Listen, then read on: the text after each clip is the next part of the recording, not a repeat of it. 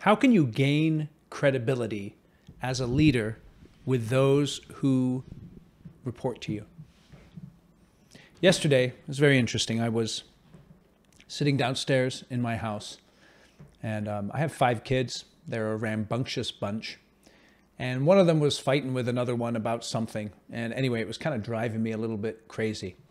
And I was right on the verge of yelling at one of my sons. And instead of doing that, I took a deep breath. I calmed down a little bit.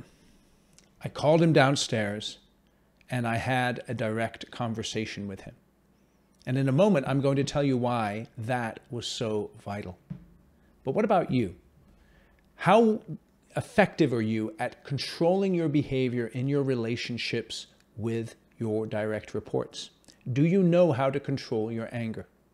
Do you have a system in place that helps you to get a control of yourself when you begin to get frustrated and perhaps uh, behave in a way that you shouldn't?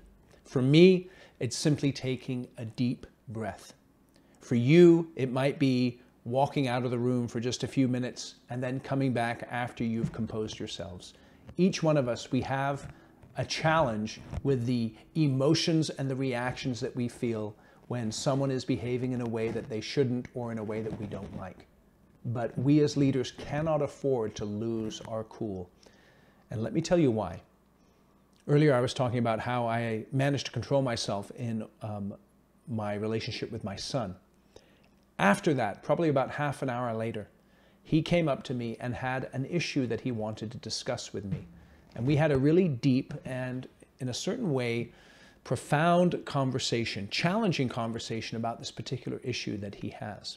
And I thought to myself afterwards, if I had yelled at him earlier when I was frustrated over an issue that, in comparison to what he wanted to discuss with me later, was extremely minor, perhaps I would have lost credibility with him for the evening, and he wouldn't have been open with me in discussing that other issue.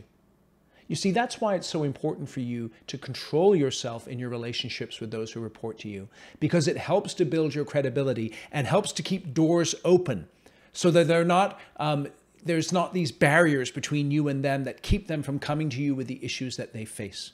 So take a tip here.